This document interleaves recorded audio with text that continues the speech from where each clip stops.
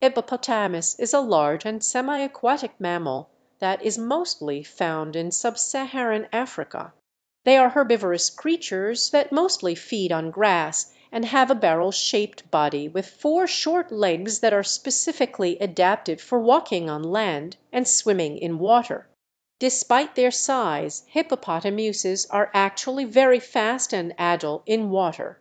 They have a very strong jaw and are known for being very aggressive towards humans and other animals when provoked or threatened. Overall, Hippopotamuses are very interesting and unique creatures that are worth learning about.